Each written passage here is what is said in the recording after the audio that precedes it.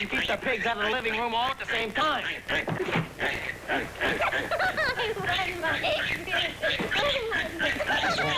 Come on outside. Don't bring that pig in here anymore. We, uh, we didn't have any puppies to give the kid, so we gave him piglets.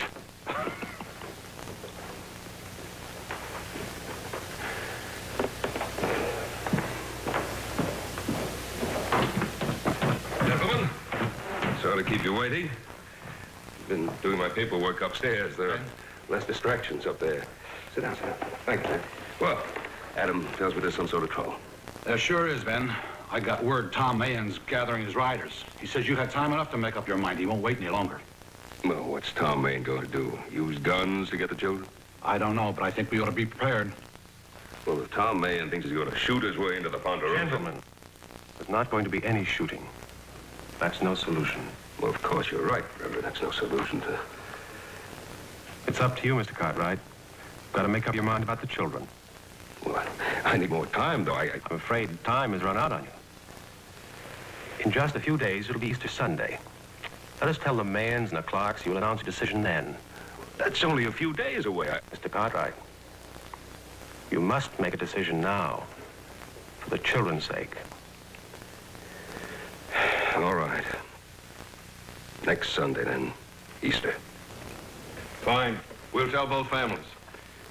At least that way it'll delay any gunplay until then.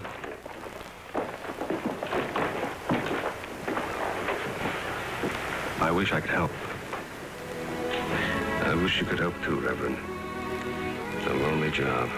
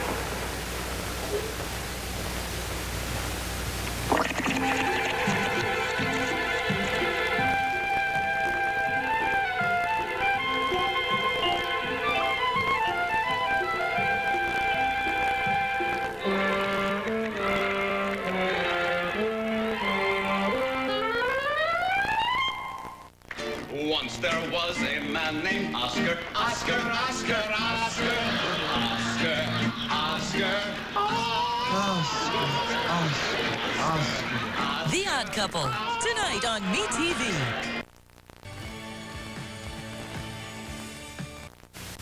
Kitty, we'll button this coat so you might as well make up your mind. Smelly, having trouble? You got his tickle box up there or something. Look at that rabbit. Well, that's really a nice rabbit. You like rabbits, Kenny? I love rabbits. You want your pig? The rabbits for Easter, not pigs. Now, you let him button that jacket. Come on. Come on, Come on, he's got. Come on, I got, the, I got Kenny's shoes here now. Come on. Oh, more buttons. Well, not down in my lap here. Then here, you take that. Kenny, will you please stop wriggling? Now, look, you want everybody to see you looking real nice this morning. Are you Hold on. sure children are all good? Well, I don't know. Sometimes I have my doubts about you. Wait a minute. Wait a minute. Hold it. Either exchange the shoes or exchange the feet, whichever is the easier. The right one goes on the right foot. Oh, that's the way you gave it. oh, come on. Come on now, Kenny. You take it easy and we'll get him. You're in charge of Kenny here. Now get him into the buckboard as Thanks soon a as you can. My goodness, you look pretty. Now, here we go.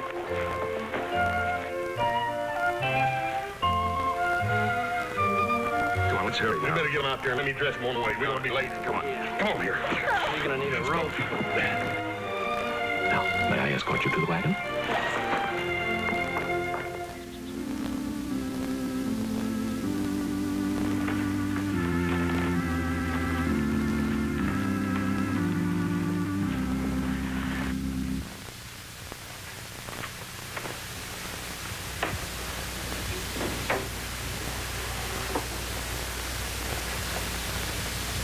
text this morning, I shall use portions from the Sermon on the Mount.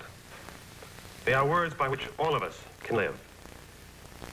The most beautiful of all, I think, are these. Ye have heard that it hath been said, Thou shalt love thy neighbor and hate thine enemy. But I say unto you, love your enemies. Bless them that curse you. Do good unto them that hate you.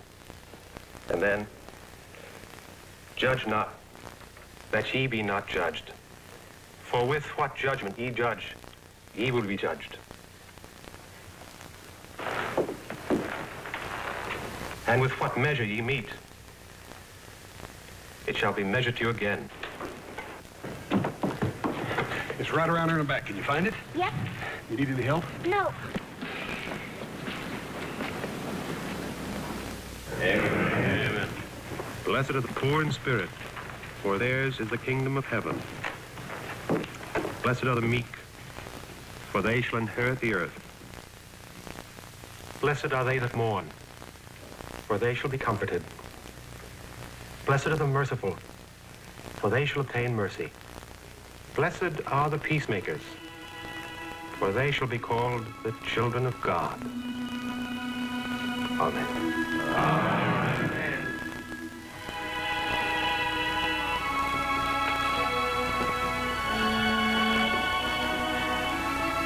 Blessed are the children, for they shall be called the peacemakers.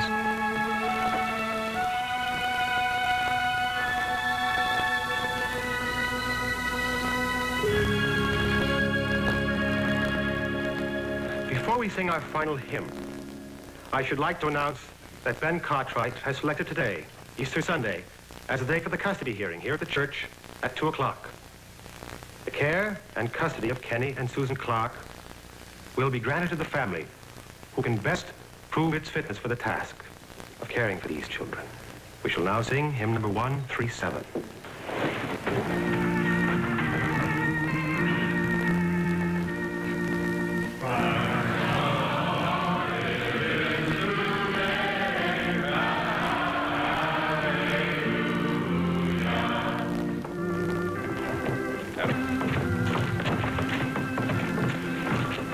Buggy, wait for me at the delivery stable. Right. Boy, you sure you want me to stand and back you up? No, I'll be all right. Just want the twins out of sight for a while.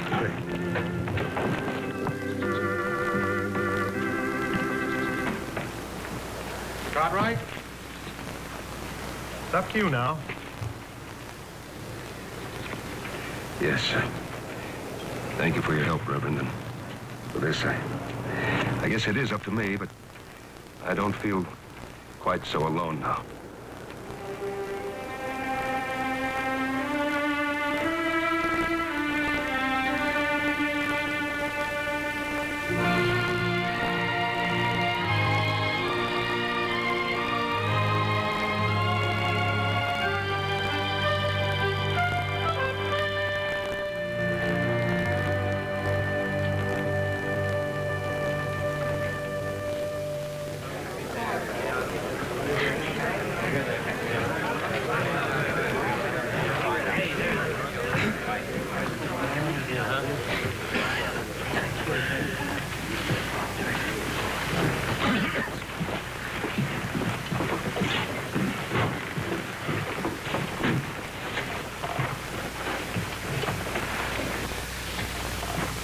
I have struggled many days with this problem, which concerns all of you.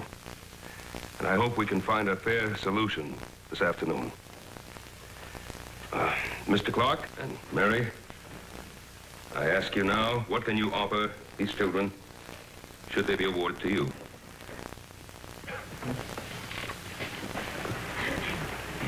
John, stand up. We have plenty to offer. You can tell them all about it. Doesn't seem quite right to me, Mary. Just to stand up here.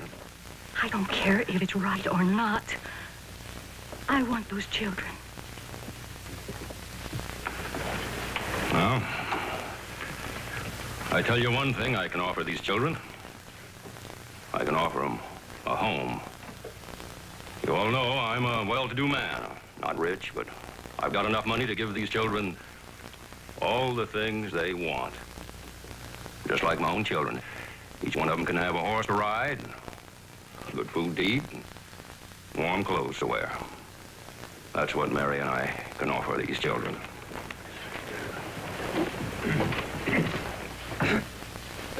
Uh, John, I, I don't think you quite understood the meaning of my words. I, I, I did not mean what can you offer in the way of uh, money or clothes or those are material things. Now, this morning, you all heard the Reverend Jordan read to you from the Sermon on the Mount.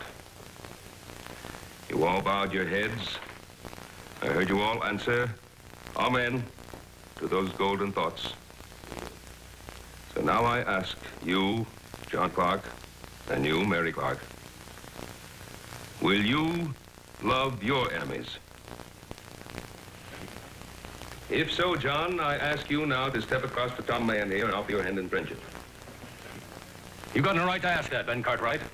How can Mary and I forgive the millions? How can I offer my hand to a family that reviles me? I won't do it. All right, John. Very well.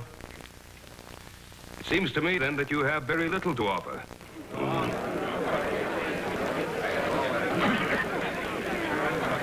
All right, folks. Folks! Let's not have any disturbance in here.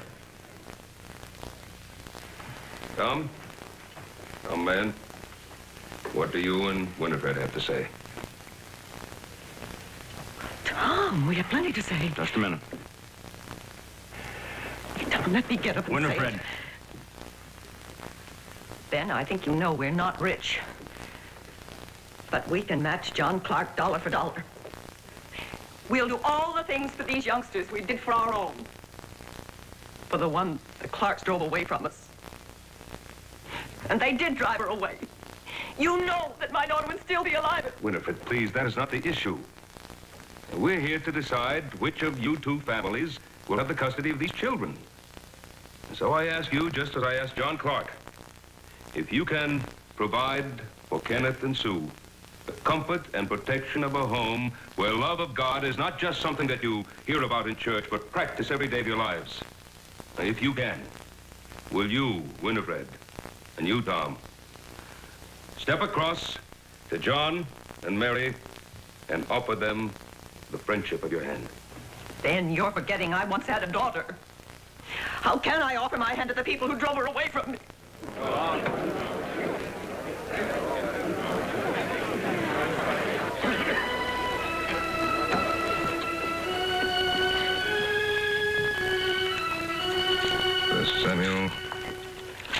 Samuel. Oh, my Lord, I and this woman dwell in one house, and I was delivered of a child with her in the house. And it came to pass the third day, and when I rose in the morning, behold, the child was dead. And the king said, Bring me a sword. And they brought the sword before the king. And the king said, Divide the living child in two.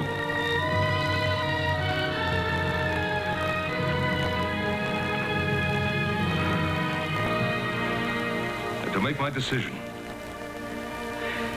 I have called upon the wisdom of a man, a judge, who is far greater than I am.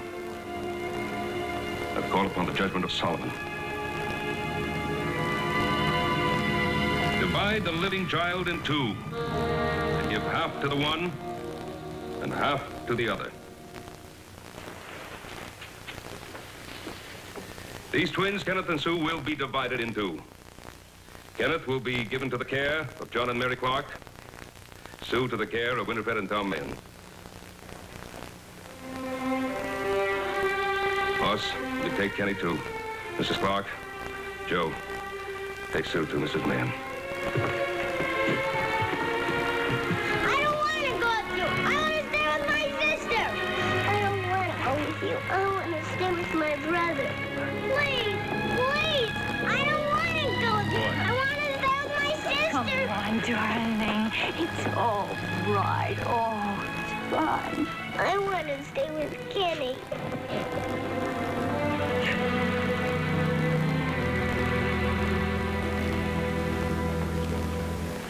It won't work, Ben. They're not going to stand for it. I don't want to go with you. I want to stay my sister. You think we were right? Please, please. Wait. It's all right. Let Kenny and Sue do our work for us. Don't take me away from my sister? Oh, Kenny, darling, w- w- we're going to give you such a nice home. And I've got just the horse for you. With a, with a new saddle and a new bridle. I don't want a horse. I want my sister.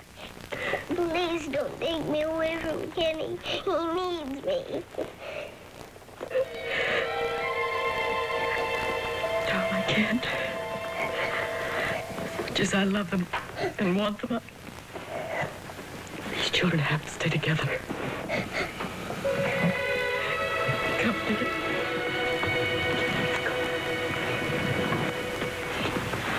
She's yours. They're both yours. Be good to them. Winnie. Oh, darling. Oh, darling. Oh. Oh. Well.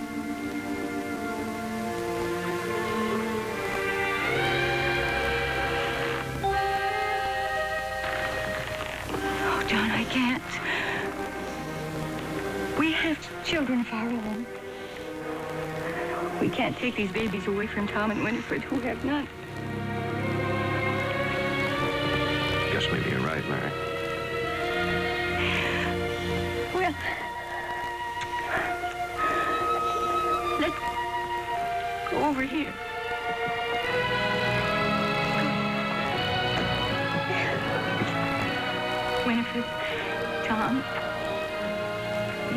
Children more than we do.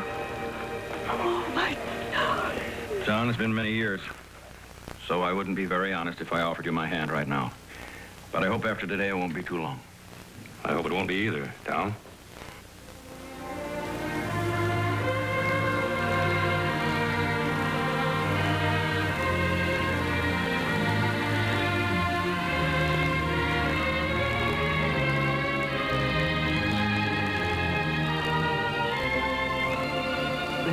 Peacemakers. Thank you, Ben. I'm afraid this peacemaker had the help of someone with far greater wisdom than mine. If it weren't for the Reverend here,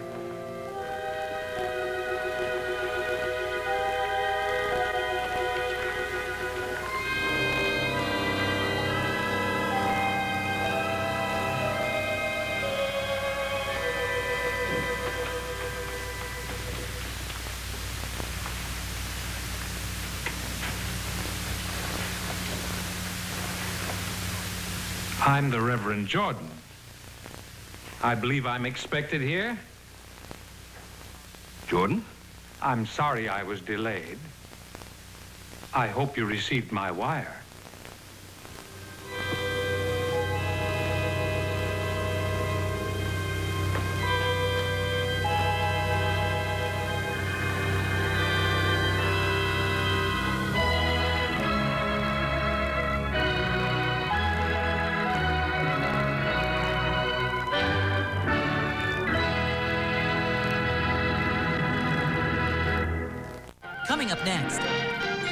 The Big Valley, followed by Dragnet and Adam 12.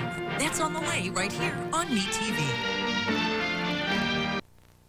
Or call 1 800 699 3803. 1 800 699 3803. Now.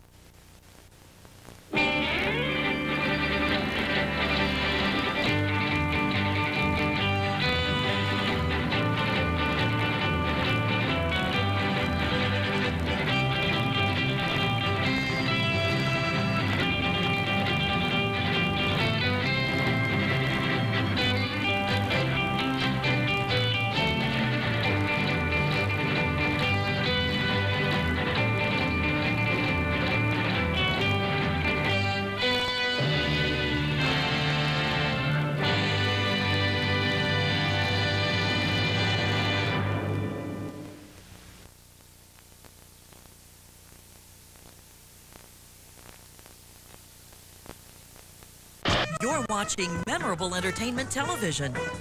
MeTV New York.